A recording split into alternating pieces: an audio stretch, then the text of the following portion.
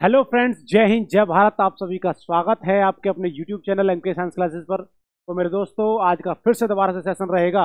C TET paper two science का session रहेगा और बड़े मज़ेदार इंपॉर्टेंट क्वेश्चन रहेंगे। एक बार एग्ज़ाम से पहले ज़रूर देखें भाई इनको टाइम वेस्ट ना करते हुए। जो मेरा भाई चैनल से नया जुड़ा है चैनल को सब्सक्राइब करे वीडियो को लाइक करे शेयर करे टाइम वेस्ट ना करते हुए स्टार्ट करते हैं दोस्तों। देखिए फ़र्स्ट क्वेश्चन है आपका। फ़र्स्ट क्वेश्चन है कि घनत्व की एसआई यूनिट क्या होती है? जो मेरा भाई इंग्लिश मीडियम है, वो टेंशन ना ले, मैं दोनों में, दोनों लिंगुल आपको बता के चलूँगा। इंग्लिश मीडियम और हिंदी मीडियम जो बच्चा है, ध्यान रखें भाई। देखिए, घनत्व को बोलते हैं डेंसिटी क्या बोलते हैं? डेंसिटी घनत्व होता है दोस्तों। यदि मैं बात करूँ घनत्व की, देखिए घनत्व का जो फार्मूला होता है, वो होता है बेटा मास अपॉन वॉल्यूम क्या होता है दोस्तों? मास अपॉन में वॉल्यूम हिंदी में इसको बोलेंगे द्रव्यमान और बटे में बटे में क्या बोलेंगे? आयतन। ध्यान रखिए। यदि मैं बात करूँ द्रव्यमान की तो द्रव्यमान की एसआई यूनिट क्या होती है? द्रव्यमान की एसआई यूनिट होती है बेटा किलोग्राम, और आपका आयतन जो होता है, इसको हम बोलते हैं मीटर का क्यूब। तो देख लीजिए वाइस इसमें आंसर क्या होगा? तो घनत्व की एसआई यूनिट क्या होगी? तो किलोग्राम मीटर पर सेकंड स्क्वेयर होगा, किलोग्राम मीटर का क्यूब होगा, या फिर क्या होगा? न्यूटन होगा या पास्कल होगा? जल्दी से आंसर करके बताइए फटाक से, क्या होगा आंसर? देखिए, जल्दी से बताइए दोस्तों, क्या होगा आंसर? तो बच्चों, इसका आंसर क्या होगा? किलोग्राम पर मीटर का क्यूब। देख लीजिए, यहाँ पर लिखा हुआ है। ठीक है जी दोस्तों? चलिए, अगला क्वेश्चन देखिए। अगला क्वेश्चन है भाई साहब आपका, इनमें से सबसे छोटी यूनिट कौन सी है? सबसे छोटी यूनिट कौन सी होती है? डेका होती है हेक्टो होती है किलो होती है मेगा होती है। तो ध्यान रखना, सबसे छोटी यूनिट जो होती है, वो कौन सी होती है? डेका होती है दोस्तों। क्या होती है? डेका। कौन सी होती है दोस्तों? डेका होती है। जल्दी से चलिए। अगला क्वेश्चन देखिए। अगला क्वेश्चन है आपका मूल मात्रकों की संख्या कितनी होती है? जो आपकी मूल मात्रक को दो, दोस्तों बोलते हैं फंडामेंटल फंडामेंटल यूनिट फंडामेंटल जो यूनिट होती है मूल मात्रकों की संख्या कितनी होती है? तो सभी बताइए कमेंट करके कितना होती है? जल्दी से बताइए मेरे दोस्तों। तो कितनी होती है दोस्तों? पाँच होती है छः होती है सात होती है या दस होती है? जल्दी से बताइए तो कितनी होती है दोस्तों? वेरी गुड बहुत अच्छे आंसर आ रहे हैं बच्चों के। वेरी गुड कितनी होती है? सात। पता होगा आपको कौन कौन सी होती है। देखिए, एक होती है लंबाई, कौन सी होती है लेंथ जिसको हम बोलते हैं। एक होता है समय, ठीक है जी, जिसको टाइम बोलते हैं। एक होती है द्रव्यमान, जिसको मास बोलते हैं। एक होता है तापमान, दोस्तों, क्या होता है? तापमान, ठीक है जी जिसको टेम्परेचर बोलेंगे। एक होती है विद्युत धारा, ठीक है जी, इसको हम बोलते हैं इलेक्ट्रिक करंट मेरे भाइयों, ठीक है जी। एक होता है, एक होता है आपका ज्योति तीव्रता, क्या होता है? ज्योति तीव्रता। कौन सी होती है जिसको हम बोलते हैं ल्यूमिनस इंटेंसिटी और एक होती है जी दोस्तों, पदार्थ का परिमाण अमाउंट ऑफ़ सब्सटेंस ठीक है जी? देख लीजिए। एक, दो, तीन, चार, पाँच, छ और सात। देख लीजिए दोस्तों। ठीक है जी? क्विक रिविजन लेते रहिए भाई। बहुत फास्ट से, जल्दी से टाइम वेस्ट ना करते हुए चलते हैं। तो मूल मात्रा की संख्या कितनी होती है टोटल सात होती है। फंडामेंटल यूनिट्स होते हैं भाई साहब। फंडामेंटल यूनिट्स जो होती हैं, वो किसी दूसरी यूनिट्स पर डिपेंड नहीं करेंगी। इसका मतलब हम कह सकते हैं fundamental units are not depend on other units, परंतु एक होती है ड्राइव यूनिट्स। परंतु ड्राइव यूनिट्स जो होती हैं, व्युत्पन्न राशियाँ जो होती हैं, वो इन पर निर्भर करती हैं। इसका मतलब मूल राशियों पर जो आपके सामने लिखी हुई हैं, इन पर निर्भर करती हैं। लंबाई की एसआई यूनिट जो होती है, वो क्या होती है दोस्तों? वो क्या होती है? मीटर होती है दोस्तों। ठीक है जी, समय की क्या होती है? सेकेंड। क्या होती है सेकेंड? द्रव्यमान की क्या होती है? किलोग्राम। तापमान की क्या होती है? कैलविन। विद्युत धारा क्या होता है? एम्पियर। ज्योति तीव्रता का क्या होता है? कैंडेला। और वैसा पदार्थ का परिमाण का क्या होता है? मोल। ठीक है जी दोस्तों? ध्यान रखें मेरे दोस्तों। चलिए, अगला क्वेश्चन देखिए। अगला क्वेश्चन है, समतल कोण की एसआई यूनिट क्या होती है? जो आपका प्लेन एंगल होता है, उसकी एसआई यूनिट क्या होती है? स्टेरेडियन किलोग्राम रेडियन या एम्पियर जल्दी से बताइए भाई, इसका आंसर क्या होगा? समतल कौन समतल कौन क्या होता है? Plane plane angle plane angle जो होता है, उसकी एसआई यूनिट बता दो दोस्तों। जल्दी से टाइम वेस्ट ना करते हुए। स्टेरेडियन जो होता है, ये नहीं होती भाई साहब, किलोग्राम होगा, रेडियन होगा, स्टेरेडियन तो क्या होगा भाई साहब? रेडियन होती है, समतल कौन की, और एक होता है ठोस कौन जो होता है, उसकी जो होती है, वो क्या होती है? स्टेरेडियन। रेडियन और स्टेरेडियन दो यूनिट्स होती हैं, ये आपकी सप्लीमेंट्री यूनिट्स होती है। कैसी होती हैं? सप्लीमेंट्री कैसी? सप्लीमेंट्री सप्लीमेंट्री को बोलते हैं संपूरक संपूरक राशियाँ। ठीक है जी? संपूरक राशियाँ सप्लीमेंट्री यूनिट्स होती हैं, कौन सा? जिसकी यूनिट होती है, एक रेडियन होती है, और क्या होती है? स्टेरेडियन। परंतु समतल कौन की क्या होती है दोस्तों? रेडियन। एम्पियर किसकी है? एम्पियर दोस्तों किसकी है? विद्युत धारा की है, सर जी। किसकी है? विद्युत धारा की। और किलोग्राम जो है, ये किलोग्राम किसकी होती है? मास की दोस्तों। मास को द्रव्यमान बोलेंगे। और स्टेरेडियन मैंने बताइए, ठोस कौन की होती है? ठीक है जी? चलिए, अगला क्वेश्चन देखिए। दूध की शुद्धता, दूध की शुद्धता मापने वाला यंत्र, ऐसा कौन सा इंस्ट्रूमेंट है, ऐसा कौन सा यंत्र है जो भाई साहब दूध की शुद्धता को प्योरिटी को मापने का काम करेगा। कौन सा बैरोमीटर होगा? Option A option second lactometer option third hydrometer होगा। और फोर्थ होगा क्या चीज़? अमीटर जल्दी से बता दीजिए मेरे दोस्तों। जल्दी से फटाक से आंसर दीजिए। ठीक है जी? तो ध्यान रखना, दूध की शुद्धता को जो मापता है, वो होता है दोस्तों लैक्टोमीटर कौन सा होता है? लैक्टोमीटर याद करने का ध्यान रखिए, दूध में एसिड जो होता है, दूध में या मिल्क में जो अम्ल होगा, वो दोस्तों कौन सा होता है? लैक्टिक एसिड कौन सा होता है? लैक्टिक अम्ल होता है दोस्तों। कौन सा होता है? लैक्टिक एसिड ठीक है जी? लैक्टिक अम्ल होता है, इसे याद रख लो। लैक्टोमीटर ठीक है जी? बैरोमीटर क्या करता है भाई साहब? वायुमंडलीय दाब। वायुमंडलीय वायुमंडलीय। ठीक है जी? वायुमंडलीय दाब मापेगा। कौन सा? आपका बैरोमीटर ठीक है जी? और अमीटर जो होता है, ये क्या मापता है? विद्युत धारा। विद्युत धारा को मापने का काम करेगा। ठीक है? और बता दीजिए हाइग्रोमीटर क्या करेगा ठीक है? ये क्या करता है? डेंसिटी को मापने का, इसका मतलब हम कह सकते हैं ह्यूमिडिटी को मापने का जो काम करते, करता है, वो हाइड्रोमीटर होता है। चलिए, अगला क्वेश्चन देखिए, ठीक है जी? चलिए, अगला क्वेश्चन देखिए, पौधे की वृद्धि दर मापने वाला यंत्र कौन सा है? पौधे की जो वृद्धि को मापता है, वो कौन सा यंत्र होता है? भाई, वीडियो अच्छी लग रही है, चैनल को सब्सक्राइब करें, वीडियो को लाइक और शेयर करते रहें, और अपने दोस्तों के बाद भी शेयर करते रहें, ठीक है जी? देखिए तो पौधे की वृद्धि दर मापने वाला यंत्र कौन सा होता है? स्पीडोमीटर होगा, अल्टीमीटर होगा, ऑक्सीनोमीटर होगा, या फिर सिस्मोग्राफ होगा। जल्दी से आंसर बता दीजिए, इसका आंसर क्या होगा? ठीक है जी? जल्दी से बताइए मेरे दोस्तों, क्या आंसर होगा? स्पीडोमीटर, अल्टीमीटर, ऑक्सीनोमीटर, या फिर सिस्मोग्राफ? देखिए दोस्तों, इसका आंसर जो होगा, वो होगा ऑक्सीनोमीटर। ये क्या करता है? पेड़ की वृद्धि दर मापने का काम करता है। पेड़ कितना बढ़ रहा है, कितना नहीं बढ़ रहा है। देखिए, सिस्मोग्राफ जो होता है, ये भूकंप को मापता है। किसको मापता है? भूकंप को मापने का काम। भूकंप का मेजर करता है, भूकंप को मापने का काम करता है। अल्टीमीटर भाई साहब ऊंचाई को मापने का काम करता है। ऊंचाई को मापने का, ठीक है जी? ऊंचाई को मापने का। और बेटा स्पीडोमीटर जो होता है, ये गाड़ियाँ जो होती हैं, गाड़ियों के अंदर उसकी स्पीड को मापता है, गाड़ी की स्पीड, ठीक है जी? गाड़ी की स्पीड को मापने का जो काम करता है दोस्तों, वो कौन सा होता है? स्पीडोमीटर। अल्टीमीटर हो गया और ऑक्सीजनोमीटर क्या करता है भाई साहब आपका? ये आंसर है ही पौधे की वृद्धि का। अच्छा जल्दी से बता दीजिए, पौधे की उम्र का किससे पता लगाया जाता है? पेड़ की उम्र का, पेड़ की उम्र का, ठीक है जी? पेड़ की उम्र का जो पता लगाया जाता है, वो लगाया जाता है दोस्तों एनुअल रिंग एनुअल रिंग के माध्यम से। किसके माध्यम से? एनुअल रिंग जिसको हम बोलते हैं, वार्षिक वलय। क्या बोलते हैं? वार्षिक वलय बोलते हैं। ठीक है जी दोस्तों, ध्यान रखें। जितने रिंग होंगे, उतनी उस पेड़ की क्या होती है? उम्र होती है। तो एक, दो, तीन, चार तो मान चलिए पेड़ को काटते हैं तो इसलिए चार साल का पेड़ है भाई। ठीक है, जितने रिंग बने रहेंगे। ठीक है जी? चलिए, अगला क्वेश्चन देखिए। पारे का क्वथनांक बिंदु कितना होता है? भाई साहब, पारा जो होता है, मरकरी जो होता है एच होता है, ठीक है जी? मरकरी जो होती है, इसका भाई आपको बताना है क्या चीज़? क्वेथनांक क्वेथनांक को बोलते हैं दोस्तों बॉइलिंग पॉइंट क्या कहा जाता है? बॉइलिंग पॉइंट कहा जाता है मेरे भाइयों। जल्दी से कमेंट करके बता दीजिए बॉइलिंग पॉइंट क्या होता है, किसका, पारे का? तो बताइए भाई क्या होगा? इसका तीन डिग्री सेल्सियस 310 डिग्री सेल्सियस अट्ठानवे पॉइंट छः डिग्री फ़ारेनहाइट या फिर माइनस उनतालीस डिग्री सेल्सियस जल्दी से बता दीजिए भाई साहब क्या होगा। जल्दी से बताइए इसका आंसर क्या होगा। तो पारे का क्वथनांक जो होता है वो कितना होता है? तीन सौ सत्तावन डिग्री सेल्सियस इसका मतलब वो तीन सौ सत्तावन डिग्री सेल्सियस पर जो पारा होगा वो उबलने लगता है दोस्तों। ठीक है, हम ये कह सकते हैं। देखिए, यहाँ पर कुछ और चीज़ें भी लिखी हुई हैं।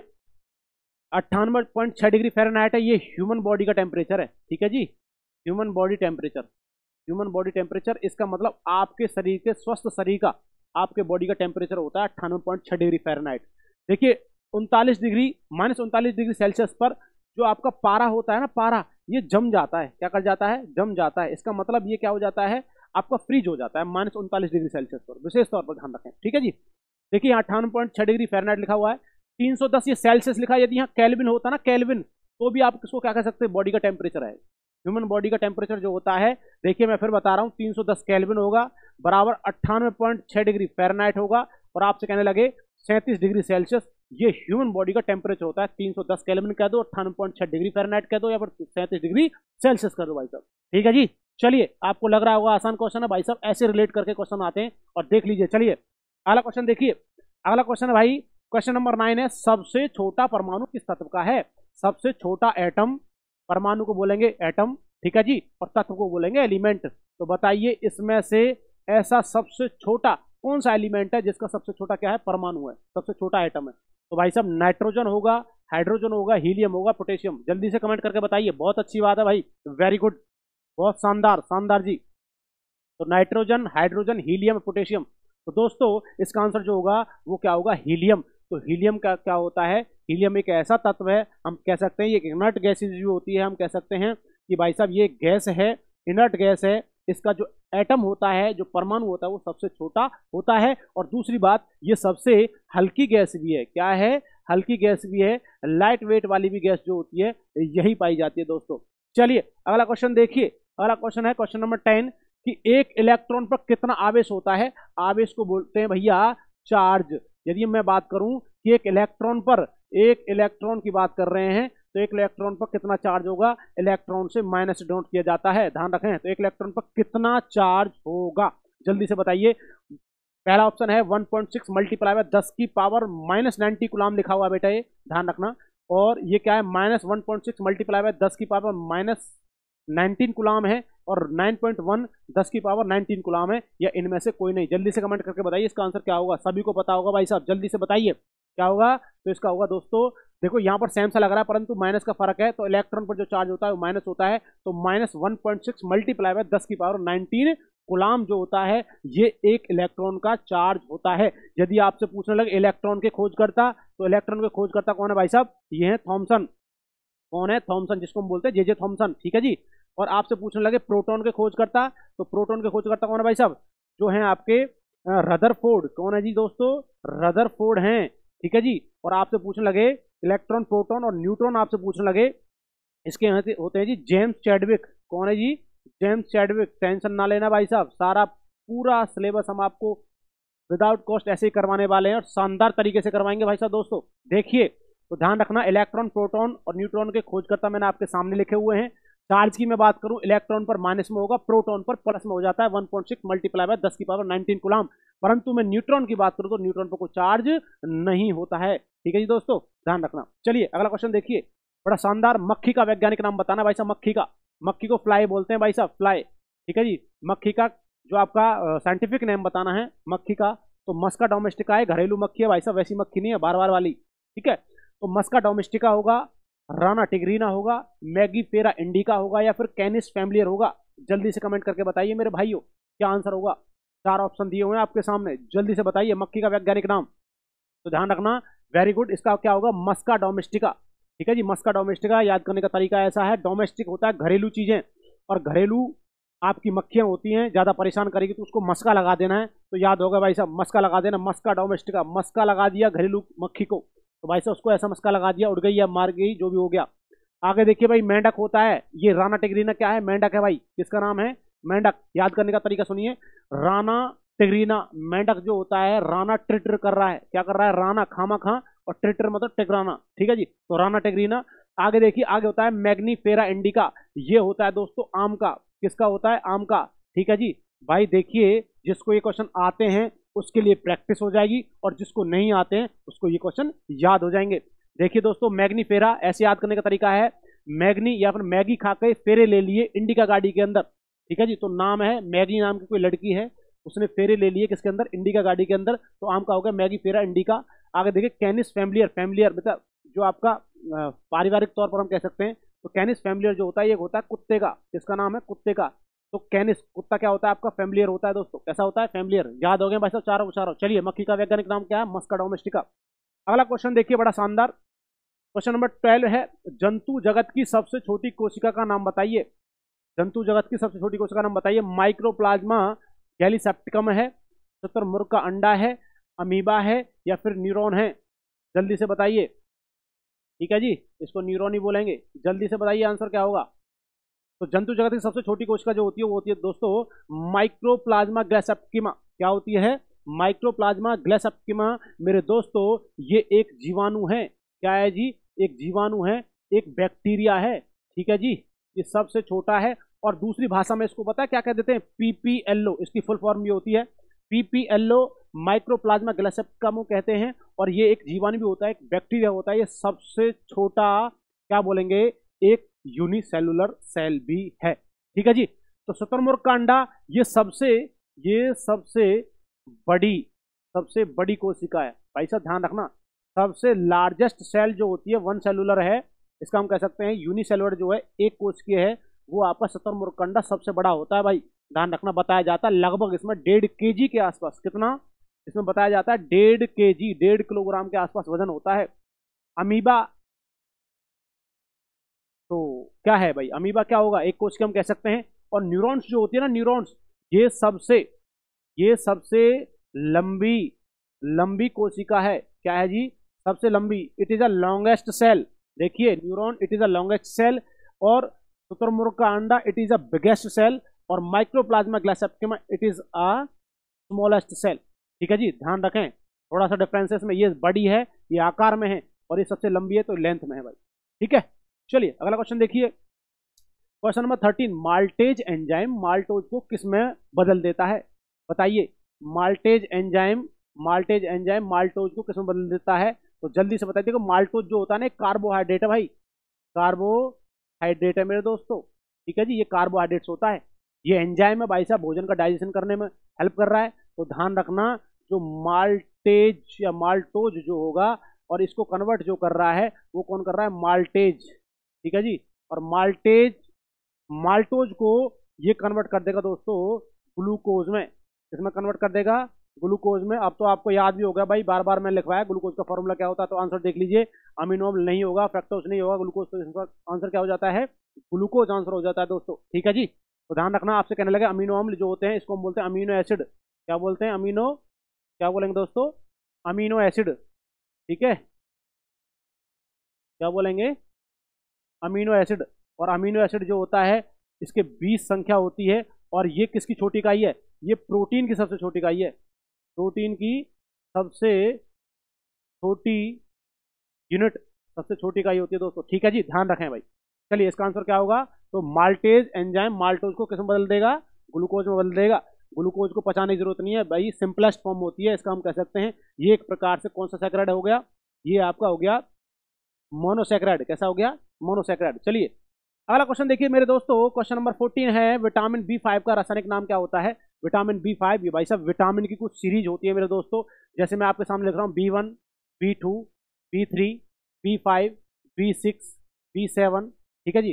बी नाइन इलेवन और इसको हम बोलेंगे बी ट्वेल्व यही होती है भाई साहब। अब कहने लगा, सर जी, बीच वाली नहीं है। तो बीच वाली भाई साहब साइंटिस्ट ने लिखी नहीं होंगी। ठीक है तो फोर वाली नहीं है, इसमें एट वाली नहीं है। तो ध्यान रखना बी फाइव का इस वाली का नाम बताना है। ठीक है जी? तो इसका होगा पेंटाथोनिक एसिड होगा नियासिन होगा पायराडॉक्सिन होगा या फॉलिक एसिड होगा।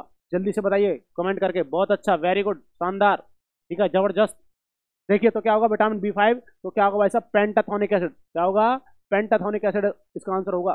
देखिए बी वन का होता है थाइमिन क्या होता है दोस्तों? थाइमिन दूसरा का क्या होता है? राइबोफ्लेविन ठीक है जी? इसका नाम होता है टू का राइबोफ्लेविन तीसरी का होता है न्यासीन तीसरी का न्यासीन पांचवी का पेंटाथोनिक एसिड पेंटाथोनिक अम्ल। भाई साहब, लिख लीजिए आपको, लग रहा होगा आसान है, परंतु भूल जाओगे आप। छठी का होता है पायराडॉक्सिन क्या होता है दोस्तों? पायराडॉक्सिन ठीक है जी? सातवीं का होता है बायोटिन बायोटिन और दोस्तों इलेवन का होता है इलेवन का होता है फॉलिक एसिड, फॉलिक अम्ल।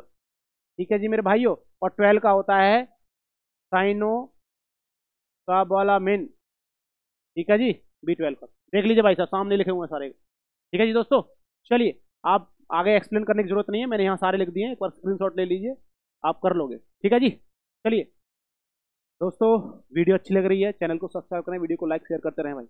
चलिए क्षय रोग। क्षय रोग के जीवाणु का नाम क्या है? भाई क्षय रोग को ना टीबी बोलते हैं। क्या बोलते हैं? जो टीबी होते हैं ना टीबी इसको हम बोलते हैं ट्यूबरक्लोसिस तो भाई साहब, क्या होगा? सोल मोनेला टाइफी होगा, ये टाइफाइड का होता है। विब्रियो कॉलरी हैजा का होता है। ये भाई साहब, ये बैक्टीरिया के नाम लिखे हुए हैं इधर। और माइक्रो माइक्रोबैक्टीरियम ट्यूबरकुलोसिस है। ये सीधा सीधा आ रहा आंसर तो साहब छह रोग का कौन सा होगा भाई साहब दोस्तों? माइक्रो माइक्रोबैक्टीरियम ट्यूबरकुलोसिस क्या होगा? माइक्रो माइक्रोबैक्टीरियम ट्यूबरकुलोसिस और ये डिप्लोकोकस निमोनिया ना, ये निमोनिया का है। निमोनिया का क्या है? बैक्टीरिया है। निमोनिया का बैक्टीरिया का नाम है डिप्लोकोकस निमोनी और माइक्रोबैक्टीरियम ट्यूबरकुलोसिस टीबी का है और वाइब्रो कैलोरी जो है, ये हैजा का है और सोलमेला टाइफी जो होता है, टाइफाइड का होता है। आपको पता होगा, जिस किसी को टाइफाइड होता है ना तो डॉक्टर एक कहता है कि टाइफी का इंजेक्शन लेके आओ इसके लिए, टाइफी का इंजेक्शन लगा दीजिए, ध्यान रखना। तो उसमें बैक्टीरिया होता है, ठीक है? चलिए, अगला क्वेश्चन देखिए। अगला क्वेश्चन है क्वेश्चन नंबर सिक्सटीन। टेस्ट भी होता है टाइफी का। टाइफी टेस्ट होता है। इंजेक्शन तो मैं नहीं कह सकता, परंतु टेस्ट होता है तो बच्चों के लिंग निर्धारण के लिए निम्नलिखित में से कौन उत्तरदायी होता है? भाई, लड़का हो या लड़की पैदा होती है तो उसके लिए कौन रेस्पॉन्सिबल होता है? मेल के लिए फीमेल के लिए जेंडर वाइज जो करेगा, ठीक है? तो जेंडर वाइज करने के लिए जेंडर जो होगा जेंडर के निर्धारण के लिए कौन रेस्पॉन्सिबल होता है दोस्तों? पिता होता है, माता होता है, माता पिता दोनों, या इनमें से कोई नहीं? बहुत से बच्चे क्या करेंगे? थर्ड लगाएँगे, माता पिता दोनों। जल्दी से कमेंट करके बताइए इसका आंसर क्या होगा। तो ध्यान रखना मेरे दोस्तों, इसका जो आंसर होगा, वो क्या होगा? पिता। इसका मतलब मेल जो होता है, पुरुष जो होता है, ये रेस्पॉन्सिबल होता है जेंडर के लिए। मेल हो या फीमेल पैदा होगी, क्या आपको पता है कि मेल का जो होता है, वो जो आपका क्रोमोजोम होता है, वो क्या होता है? वो एक्स वाई है और फीमेल का क्या होता है? एक्स एक्स क्या होता है दोस्तों? एक्स एक्स इसका एक्स मिला, इसका एक्स मिला। तो ध्यान रखना भाई साहब, इसका एक एक्स इसका एक्स तो क्या पैदा हुआ? लड़की। ठीक है जी? और ध्यान रखना, इसका वाई इसका एक्स तो एक्स और वाई मिलने से क्या पैदा होता है? लड़का तो हु इज़ रेस्पॉन्सिबल फॉर इसके लिए जेंडर तो कौन होता है भाई साहब? आपका मेल होता है। चलिए, अगला क्वेश्चन देखिए। शानदार क्वेश्चन किसके अनुसार इलेक्ट्रॉनिक विन्यास में कक्षाओं को उनकी ऊर्जा के बढ़ते क्रम में भरा जाता है? भाई साहब, आपकी सेल होती हैं, ध्यान रखना। ठीक है जी? कक्षाएँ होती हैं, ऐसे करके। ऐसे करके सेल होती हैं। के एल एम एन ये सेल होती हैं। कुछ सब सेल होती हैं। कुछ ऑर्बिटल्स होते हैं। आपने सुना होगा एस पी डी एफ़ ठीक है जी? इतना समय नहीं है कि मैं आपको पूरा एक्सप्लेन करूँ। कि दो आठ अठारह बत्तीस करके होता है। चलिए तो ये भाई साहब किसने दिया था? इलेक्ट्रॉनिक विन्यास की कक्षाओं में उनके ऊर्जा के बढ़ते क्रम को भरा जाता है। ऐसे करके चलते चलते हैं तो बढ़ता है एनर्जी तो ध्यान रखना, ये किसने दिया था? अफवाह सिद्धांत। किसने दिया था? अफवाह सिद्धांत। आपने ये सुना होगा सुना होगा, वन एस स्क्र, है ना? One S square, two S two S square, two P six ना two P six three S square ऐसे कुछ हम भर देते हैं ना तो ये क्या होता है भाई साहब? अबान थ्योरी होती है, ऐसे करके बना, सुना होगा one S two S two P three S three P four S three D ऐसे करके होता है ना? One S two S two P three three S ठीक है? Three P four S three D ऐसे करके होती है। तो ये किसने दिया भाई साहब? अफवाह सिद्धांत किसने दिया था? अफवान थ्योरी बोलते हैं इसको, क्या बोलते हैं? अफवान थ्योरी बोलते हैं। चलिए, अगला क्वेश्चन देखिए। अगला क्वेश्चन है भाई साहब क्वांटम सिद्धांत के बारे में किसने बताया? क्वांटम सिद्धांत के बारे में किसने बताया? जल्दी से कमेंट करके बताइए। फेराडे ने कुलाम ने मैक्स प्लांक ने एडिसन ने। जल्दी से बताइए। फ़र्स्ट होगा सेकंड होगा थर्ड होगा या फोर्थ होगा? जल्दी से बताइए। तो क्वांटम सिद्धांत के बारे में किसने बताया भाई साहब? मैक्स प्लांक ने बताया। किसने बताया दोस्तों?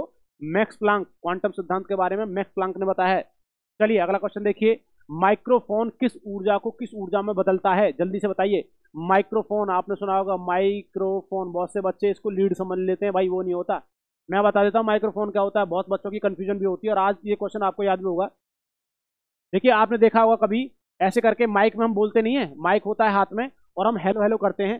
जो हेलो करते हैं ना, ये जो हाथ में होता है, वही क्या होता है, आपका माइक्रोफोन होता है। ध्यान रखिए, अब ये करेगा क्या? ये भाई साहब, आप क्या दे रहे हो? साउंड है ना? साउंड जा रही है उसके अंदर और ये कन्वर्ट होने के बाद किसमें जाएगी? इलेक्ट्रिक करंट के अंदर, ठीक है? तो देख लीजिए भाई, इसमें क्या होगा?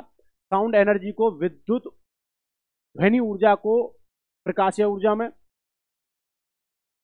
ध्वनि ऊर्जा को, विद्युत ऊर्जा में, यांत्रिक ऊर्जा को, ध्वनि ऊर्जा में, रासायनिक ऊर्जा को, विद्युत ऊर्जा में। जल्दी से बताइए। Sound energy to light energy sound energy to electrical energy mechanical energy to sound energy और chemical energy to electrical energy जल्दी से बता दीजिए क्या होगा तो देखिए भाई साहब, इसका जो आंसर होगा, वो कौन सा होगा दोस्तों? ये साउंड एनर्जी को किसमें कन्वर्ट करता है? इलेक्ट्रिकल एनर्जी में। इसका हम कह सकते हैं विद्युत ऊर्जा को सॉरी ध्वनि ऊर्जा को विद्युत ऊर्जा में कन्वर्ट करने का काम करेगा। ध्वनि ऊर्जा को विद्युत, आप बोल रहे हो, ध्वनि जा रही है, ये एनर्जी है। देखो आपको पता होगा एनर्जी जो होती है energy can not be destroy can not be make ऊर्जा को ना तो बनाया जा सकता है, ना ही खत्म किया जा सकता है, इसको एक फॉर्म से दूसरे फॉर्म में ट्रांसफ़र किया जा सकता है, ये पता होगा आपको। ध्यान रखना सुना है आपने? तो ध्यान रखना, ये एनर्जी जो थी, आपने साउंड वाली एनर्जी उस माइक के अंदर दी, उसके बाद ये कन्वर्ट होकर के इलेक्ट्रिकल एनर्जी में और किसमें जाती है स्पीकर में जाती है। पता है आपको? लाउड स्पीकर के अंदर जाती है। तो ध्यान रखना, इसका आंसर क्या होगा? ये वाला होगा। ठीक है जी? आप मुझे दो चार चीज़ बता दीजिए। एक होता है डायनेमो डायनेमो होता है। ये कुछ एनर्जी किस एनर्जी में कन्वर्ट करता है? पवन चक्की जो होती है, पवन चक्की किस एनर्जी किस एनर्जी में कन्वर्ट करती है? आप बता दीजिए भाई साहब मोमबत्ती जो होती है, मोमबत्ती, ये मोमबत्ती किस एनर्जी किस एनर्जी में कन्वर्ट करती है? बहुत सारे एग्ज़ाम्पल हैं। आप सौर सेल जो होते हैं, सौर पैनल सौर पैनल किस एनर्जी किस एनर्जी में कन्वर्ट करते हैं? आपका होता है भाई साहब, आपका हारमोनियम हारमोनियम जो होता है, ये किस एनर्जी किस एनर्जी में कन्वर्ट करता है? जल्दी से कमेंट करके बता दीजिए भाई साहब। कमेंट में सभी के आंसर लिखे होने चाहिए भाई, ठीक है? हमें पता है, हम बता देंगे, पर इतना समय नहीं है भाई, ठीक है? बहुत सारे क्वेश्चन भी करने हैं। चलिए अगला क्वेश्चन देखिए, अगला क्वेश्चन है भाई पलायन वेग। पलायन वेग का फॉर्मूला देखिए दोस्तों इंग्लिश वाले बच्चों, इसको हम बोलते हैं एस केप वेलोसिटी क्या बोलते हैं? एस केप वेलोसिटी विशेष तौर पर ध्यान रखें, इसको हम बोलते हैं पलायन वेग। पलायन वेग का मतलब ये होता है कि पृथ्वी की सतह से, सतह किसी की हो सकती है भाई साहब। ध्यान रखना, चंद्रमा की हो सकती है, सूर्य की हो सकती है, पृथ्वी की हो सकती है। मंगल की, शुक्र की, जो भी आपका ग्रह है, सबका एक एक अपना पलायन वेग होता है। परंतु जितना मुझे पता है, मैं उतना बता रहा हूँ आपको। समझ लीजिए? पलायन वेग जो होता है ना, पृथ्वी की सतह से आपको कोई ऑब्जेक्ट फेंकना है और आप चाहते हो वापस पृथ्वी पर बनाए तो भाई साहब, आपको कोई ना कोई रफ्तार चाहिए और जो रफ्तार है ना, वो आपको कितनी रफ्तार से होना चाहिए? प्लाइन वेग जो होता है, वो होता है ग्यारह पॉइंट दो किलोमीटर पर सेकेंड। मतलब कि इतनी रफ्तार से आपको पृथ्वी से कोई ऑब्जेक्ट ऊपर फेंकना होगा और वो वापस पृथ्वी पर नहीं आएगा। इसका मतलब जो रॉकेट जाता है ना रॉकेट जो आपके अभी क्या, कौन गया था? चंद्रयान थ्री जो गया था, वो किस सिद्धांत पर काम करता है, किस पर गया होगा, उसको स्पीड कितनी चाहिए होगी? ग्यारह पॉइंट दो किलोमीटर पर सेकंड रफ्तार चाहिए होगी। पलायन वेग होता है। फिर आगे जाने के बाद जब ग्रेविटी होती है, उसके बाद एक ऑर्बिटल वेलोसिटी होती है, जिसको हम बोलते हैं कक्षीय वेग। ठीक है? उसकी भी एक अलग वैल्यू होती है। तो ध्यान रखिए तो क्या होगा ग्यारह पॉइंट दो किलोमीटर पर सेकंड होती है भाई साहब, पलायन वेग की जो वैल्यू होती है। ठीक है? तो इसका जो फॉर्मूला होगा, वो क्या होगा? Under root two G R root G R under root G R square या रूट टू जी आर जल्दी से बताइए। जल्दी से बताइए इसका आंसर क्या होगा? देखिए, इसका जो आंसर होगा, वो रूट टू जी आर होगा। इसकी पूरा वैल्यू होती है भाई साहब। हम निकाल भी सकते हैं, इतना समय नहीं है, क्योंकि आपको पता होगा, देखिए दोस्तों रूट टू मल्टीप्लाई बाई ये जी जो है ना, ये पृथ्वी की क्या है? ग्रेविटी है 9.8 मीटर पर second square multiply by radius जो होता है ना पृथ्वी का, वो चौंसठ सौ, चौसठ सौ किलोमीटर होता है। आप इसको निकाल के देख लीजिए भाई साहब आंसर आ जाएगा। आपका कितना आएगा? ग्यारह पॉइंट दो किलोमीटर पर सेकंड निकाल के दिखाएँ क्या? जल्दी से कमेंट करके बताइए, निकाल के दिखाएँ क्या? देखिए यदि आपको निकालना तो ऐसे कर लो भाई।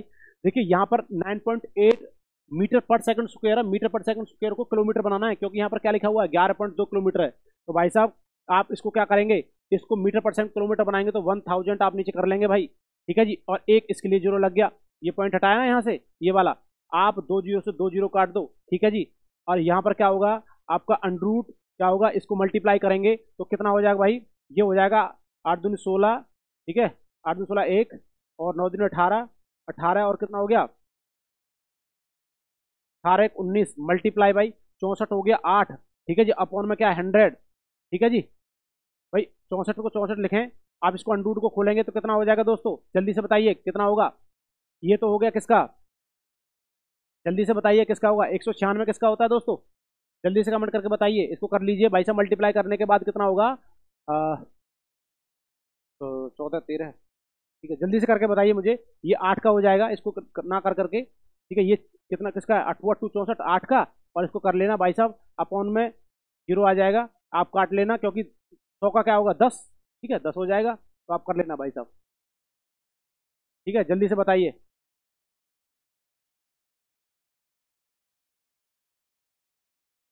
ठीक है तो देखिए जल्दी से तो भाई कितना हो गया, ये चौदह हो गया मल्टीप्लाई भाई आठ अपॉन में दस और चौदह ठे चौदह ठे कितना हो जाता है भाई? एक सौ बारह अपॉन में दस और इसके लिए क्या लगा वन पॉइंट तो ग्यारह पॉइंट दो आ गया भाई साहब आपका किलोमीटर पर सेकेंड। ठीक है जी दोस्तों, ध्यान रखें। ठीक है, आ गया। चलिए अगला क्वेश्चन देखिए। अगला क्वेश्चन क्या है? अगला क्वेश्चन भाई साहब क्वेश्चन देखिए, अगला question question number twenty one, भारी जल में हाइड्रोजन का कौन सा समस्थानिक उपयोग होता है? भारी जल। भारी जल जो होता है भाई साहब हार्ड वाटर हम कह सकते हैं या हैवी वाटर हम कह सकते हैं। आप कह सकते हैं हैवी वाटर या हार्ड वाटर ठीक है जी? और हैवी वाटर जो होगा, उसका फॉर्मूला आपसे पूछने लगे तो क्या होगा? डी है ना जी? भारी जल के हाइड्रोजन का कौन सा समस्थानिक? हाइड्रोजन का कौन सा समस्थानिक होता है? जल्दी से बताइए भाई साहब, कौन सा समस्थानिक उपयोग होता है? तो बताइए भाई हाइड्रोजन का दूसरा होगा, तीसरा होगा, चौथा होगा। तो ध्यान रखिए कौन सा होगा? फ़र्स्ट सेकंड थर्ड फोर्थ बताइए। उसका क्या होगा? हाइड्रोजन का कौन सा होता है? दूसरा। ड्यूटेरियम कौन सा होता है? ड्यूटेरियम ड्यूटेरियम ड्यूटेरियम जो होता है, ये किसका होता है भाई?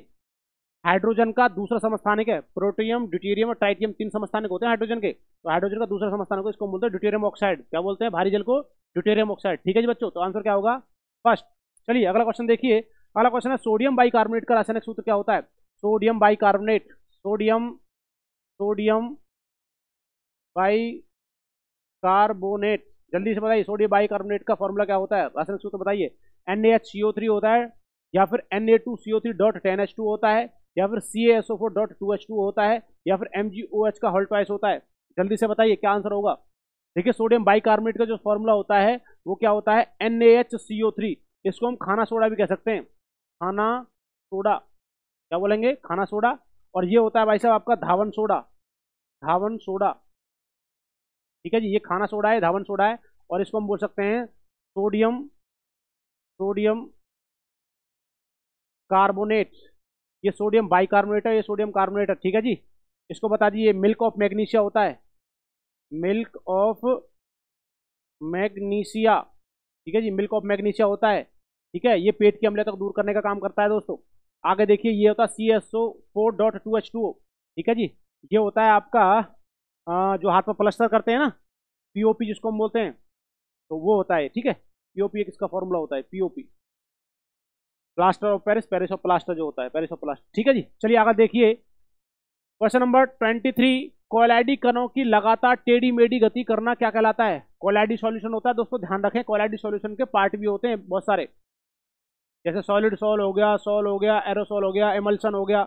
ठीक है जी टॉपिक पूरा पढ़ना पड़ेगा आपको। तो ध्यान रखना कोलाइडी कणों की लगातार टेढ़ी मेढ़ी गति क्या कहलाती है? तो भाई साहब, रेखीय गति है ब्राउनी गति है रॉबर्ट ब्राउनी है, इनमें से कोई नहीं। जल्दी से कमेंट करके बताइए। तो ध्यान रखना भैया, दोस्तों, ये होती है आपकी ब्राउनी गति। क्या होती है दोस्तों? ब्राउनी गति होती है कोलाइडी कणों की लगातार टेढ़ी मेढ़ी गति जो होती है, क्या कहलाती है? ब्राउनी गति कहलाती है दोस्तों। चलिए, अगला क्वेश्चन देखिए। क्वेश्चन नंबर ट्वेंटी फोर कोशिका की आत्महत्या की थैली किसे कहते हैं? बड़ा आसान क्वेश्चन है। लग रहा है ना आपको? जल्दी से बता दीजिए। इससे एक नहीं, चार क्वेश्चन हम क्लियर करके चलेंगे।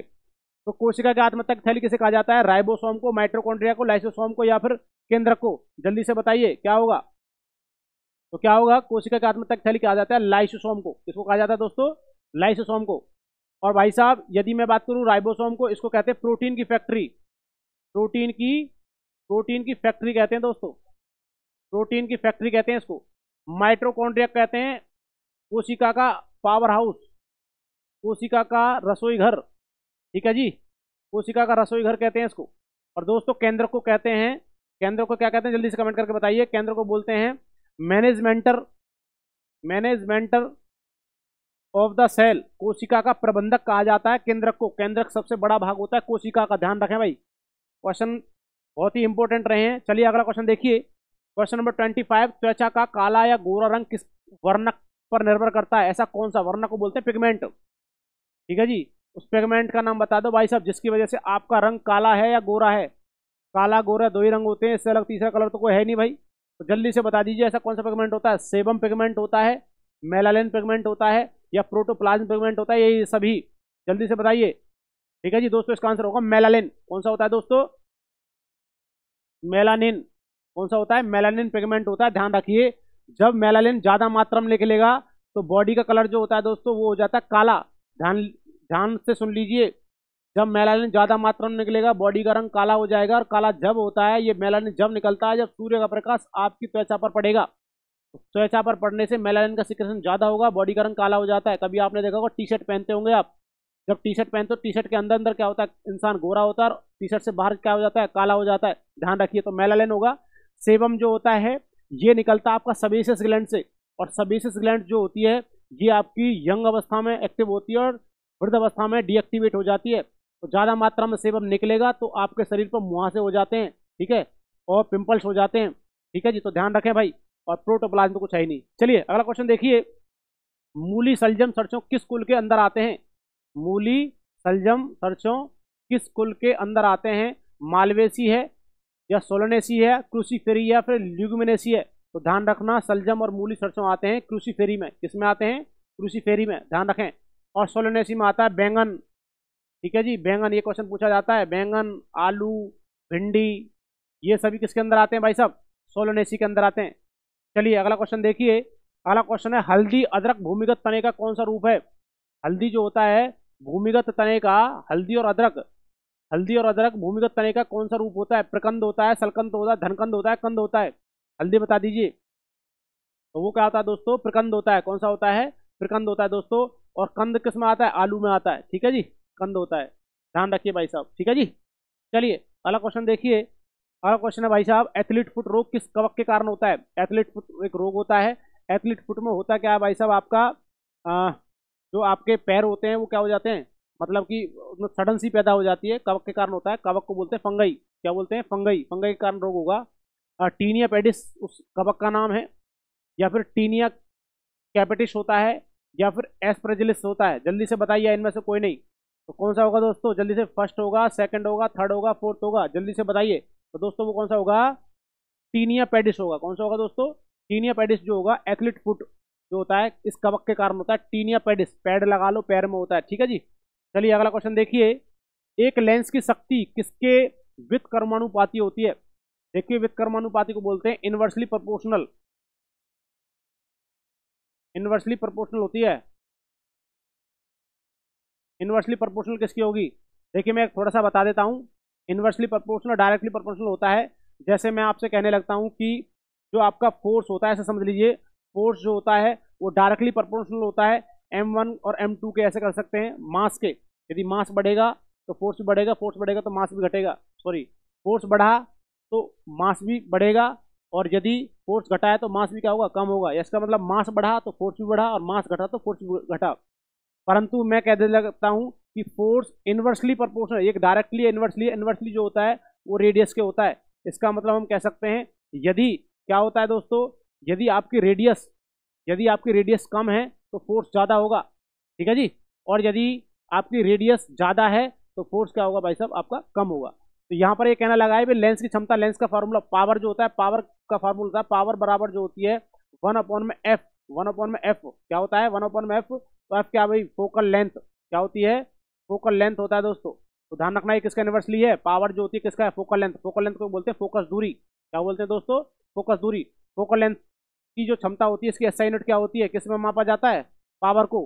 तो यह इसकी होती है डायोप्टर ठीक है जी? डायोप्टर क्या बोलते हैं इसको? डायोप्टर बोलते हैं दोस्तों। कैपिटल डी से इसको डोनोट किया जाता है दोस्तों। ठीक है जी? चलिए तो लेंस की शक्ति किसके वित्कर्मानुपाती होती है? तो भाई से वित्कर्मानुपाती है, ये डायरेक्टली हो गया, ये इन्वर्सली प्रोपोर्शनल हो गया। ठीक है जी दोस्तों? तो ध्यान रखें। चलिए, ऐसे हम कह सकते हैं। अगला क्वेश्चन देखिए। रेगिस्तान में यात्रियों को अक्सर पानी फैले होने का दृष्टि भ्रम होता है, जहाँ वास्तव में कुछ नहीं होता, इसे क्या कहा जाता है? जल्दी से एक बार क्वेश्चन पढ़ लीजिए। रेगिस्तान में आपने देखा होगा, कभी आपको ऐसा भ्रम से लगता है, चलो रेगिस्तान नहीं गए ना, आपको ऐसा भी लगा होगा, जब आप कभी ना गर्मियों का समय होता है तो आप सड़क पर बैठे हुए होते हैं तो सड़क पर आपको ऐसा लगेगा कि आगे ना पानी भरा हुआ है। ऐसा होता है ना? परंतु वास्तविकता से ऐसे नहीं होती। तो ध्यान रखना उसमें क्या होगा? परावर्तन होगा, या अपवर्तन होगा, या मरीचिका होगा विक्षेपण होगा। तो यहाँ पर रेगिस्तान के अंदर कह रहा है, अक्सर पानी फैलने का भ्रम होता है तो वास्तव में कुछ नहीं होता, इसे क्या कहते हैं? तो भाई साहब इसको हम बोलते हैं मिराज। क्या बोलते हैं? मरीचिका। क्या बोलते हैं भाई साहब? मिराज होता है दोस्तों ये, है ना? मरीचिका, भ्रम पैदा करता है और ये डिपेंड जो करता है ना T I R T I R को बोलते हैं total internal reflection total internal internal reflection ठीक है जी? टोटल इंटरनल रिफ्लेक्शन पर डिपेंड करता है दोस्तों ठीक है? टोटल इंटरनल रिफ्लेक्शन क्या बोलेंगे भाई साहब? हिंदी वालों तो इसको हम बोलेंगे पूर्ण आंतरिक परावर्तन। पूर्ण आंतरिक परावर्तन पर कार्य करता है दोस्तों ये पूर्ण आंतरिक परावर्तन पर। ठीक है जी? तो ध्यान रखना टी आई आर इसमें बहुत सारे एग्ज़ाम्पल होते हैं, जैसे कि मिराज का बनना सी सी एम आई दरार का चमकना। सी सी एम आई दरार जब आ जाती है तो का चमकना, ये भी इसका एग्ज़ाम्पल होता है है ना? तो ये सभी किसके होते हैं? शीशे का चमकना, मिराज का बनना, ठीक है, या हीरे का चमकना, हम ये कह सकते हैं। तो ये सभी जो होते हैं ये किसके एग्ज़ाम्पल होते हैं दोस्तों? ये होते हैं टी आई आर के टोटल इंटर रिफ्लेक्शन के। तो ध्यान रखना, मिराज आपको भ्रम होता है एक्चुअल में ऐसा कुछ नहीं होता। चलिए अगला क्वेश्चन देखिए, बड़ा शानदार है। वायु के संपर्क में आने से कुछ समय बाद चांदी के गहने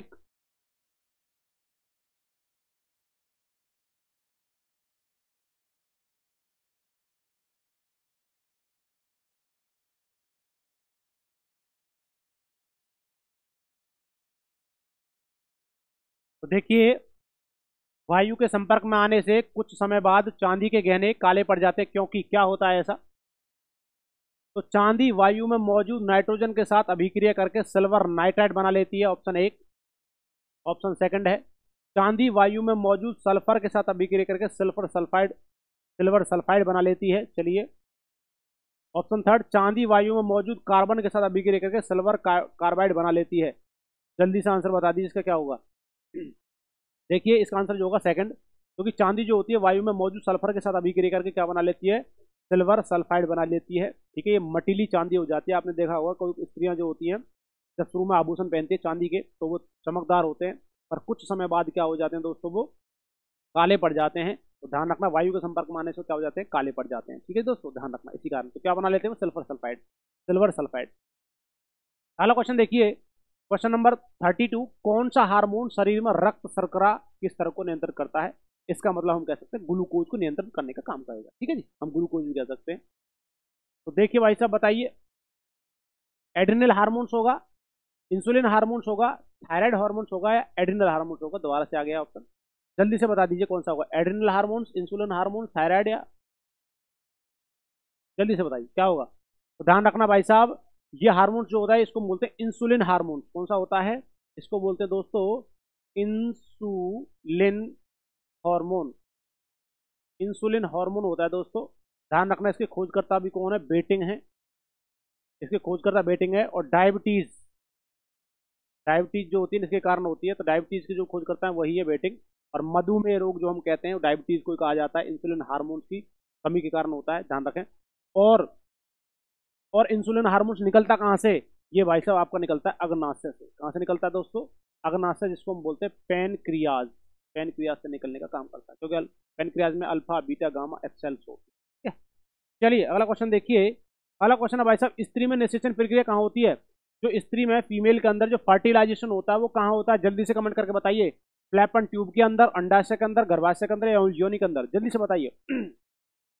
ध्यान रखना भाई साहब फ़र्स्ट सेकंड थर्ड फोर्थ इसका आंसर जो होगा फ्लैपन ट्यूब। देखिए, फीमेल में दो फ्लैपन ट्यूब होती है, जहाँ पर फर्टिलाइजेशन होता है। इसका मतलब जो आपका क्या होता है, जो स्पर्म होगा, वो किसके साथ फर्टिलाइजेशन करने का काम करेगा? ओवम से। फीमेल का ओवम जो होता है, उससे निकलने का काम करेगा। 28 दिन के अंदर मेंस्ट्रुएशन साइकिल जब आती है तो उसके अंदर आपका क्या बनता है? एक ओवम बनता है, और उससे क्या होता है? स्पर्म जो होते हैं, वो क्या करते हैं? उससे जाकर फर्टिलाइजेशन करने का काम करेगा, और जो रुकेकर जाकर कहाँ? फ्लैपन ट्यूब के अंदर। ठीक है जी? Fallopian tube. ध्यान रखना, क्या होगा? फ्लैपन ट्यूब होगा। ठीक है? फीमेल के अंदर अंडाशय होता है, मेल के अंदर क्या होगा? ये विश्व स्पर्म बताना का मेल में स्पर्म होगा। ये मिलियन संख्या होती है स्पर्म की और फीमेल के अंदर क्या होगा भाई साहब आपका? ओवम होगा। क्या होगा? ओवम बोल दो या ओवा बोल दो, अंडाणु। ठीक है? अगला क्वेश्चन देखिए भाई। यदि वीडियो अच्छी लग रही है भाई चैनल को सब्सक्राइब करते रहे, वीडियो को लाइक शेयर करते रहे मेरे दोस्तों। ठीक है जी? आपका एक कार्य हमें मोटिवेशन देता है। चलिए, अगला क्वेश्चन देखिए। Question number thirty four cobalt तत्व किस विटामिन में पाया जाता है? ऐसा कौन सा विटामिन होता है जिसमें कोबाल्ट तत्व पाया जाता है? जल्दी से बताइए भाई कोबाल्ट कोबाल्ट एलिमेंट पाया जाएगा। ऐसा कौन सा तत्व होता है? ठीक है जी, किस विटामिन पाया जाएगा भाई, बताइए। तो विटामिन बी थ्री में vitamin B five vitamin B one vitamin B twelve जल्दी से बताइए ऑप्शन क्या होगा इसका आंसर जो दोस्तों? तो ध्यान रखना कोबाल्ट तत्व जो पाया जाता है विटामिन बी ट्वेल्व में पाया जाता है। किसमें पाया जाता है? बी ट्वेल्व ये भी कहा जाता है भाई साहब, जैसा है कि गाय के दूध में पाया जाता है, गाय के दूध में, ठीक है? Vitamin B twelve vitamin B twelve का साइंटिफिक नाम क्या होता है? साइनो कोबलामिन सबसे बड़ा नाम है भाई साहब, ध्यान रखना। साइनोकोबलामिन जो होता है ये आपके विटामिन बी ट्वेल्व का साइंटिफिक नाम होता है बी थ्री का न्यासीन है बी फाइव का पेंटाथोनिक है बी वन का हाइमिन है। ठीक है जी? चलिए जी, अगला क्वेश्चन देखिए, सोना, जो सोना होता है एयू जो होता है है ना गोल्ड जिसको हम बोलते हैं गोल्ड को किसमें घोला जा सकता है? जल्दी से बताइए। सोने को किसमें घोला जा सकता है? S two S O four sulphuric acid में। H C L plus H N O three hydrochloric अम्ल प्लस नाइट्रिक अम्ल K C L potassium chloride या एम जी ओ एच का हल्टा मिल्क ऑफ़ मैग्नीशिया इनमें से किसमें बोला जा सकता है दोस्तों बताइए। क्वेश्चन बेटा ऐसे ही आते हैं, ध्यान रखना। देखिए H C L plus H O three इसको हम बोलते हैं एक्वारीजिया क्या बोलते हैं? एक्वारीजिया ठीक है? एक्वा रीजिया ठीक है जी? इसमें घोला जा सकता है एक्वा रीजिया के अंदर ही। H C L plus H N O three hydrochloric अम्ल प्लस में क्या होता है? नाइट्रिक अम्ल होता है। आपसे पूछने लगे इसका रेशो मुझे रेशो जल्दी से कमेंट करके आपको बताना है। H C L plus H N O three का रेशो कितना होता है? Three ratio one two ratio one ठीक है जी? या पचास रेशो वन जल्दी से बता देना भाई कमेंट करके ठीक है जी? तो इसका आंसर क्या होगा? H C L plus H N O three aqua regia के अंदर सोने को घोला जा सकता है। और सोने जो सोना होता है ना दोस्तों इसकी आघात वर्धता जो होती है आघात आघात वर्धता को बोलते हैं भाई साहब जो हम कहते हैं ना आ, आ, क्या बोलेंगे उसको? मेलिबिलिटी ठीक है? ये ज़्यादा होगी और इससे ज़्यादा जो होती है ना इसकी सोने की वो होती है दोस्तों सोना की सबसे ज़्यादा होती है वो होती है डक्टाइल डक्टाइल या डक्टिलिटी जो होती है, ठीक है, तन्यता जो होती है, वो सबसे ज़्यादा होती है, धातुओं में सबसे ज़्यादा तन्यता जो होती है, इसका मतलब इसके पतले पतले वायर बनाए जा सकते हैं। कहते हैं एक ग्राम सोने में दो किलोमीटर लंबी, दो किलोमीटर लंबी क्या है, लंबी वायर बनाई जा सकती है दोस्तों, ठीक है जी? ध्यान रखें भाई साहब, सबसे ज़्यादा तन्यता किसके अंदर होती है? सोने के अंदर होती है, एक ग्राम सोने में दो किलोमीटर लंबी वायर बनाई जा सकती है तो इतना लंबा सोना होता है, भाई साहब ध्यान रखना, ठीक है? तो लगभग हमने ये थर्टी फाइव क्वेश्चन किए हैं, बड़े इंपॉर्टेंट क्वेश्चन रहेंगे आपको। आपके लिए और भाई साहब, जाते समय एक बार इन क्वेश्चन को दोबारा से रिवाइज कर लेना। आपके क्वेश्चन से रिलेट करेंगे भाई साहब दोस्तों, ठीक है जी? चलते हैं क्लास अगली आपकी बहुत जल्दी लेकर आएँगे। जय हिंद, जय भारत, धन्यवाद।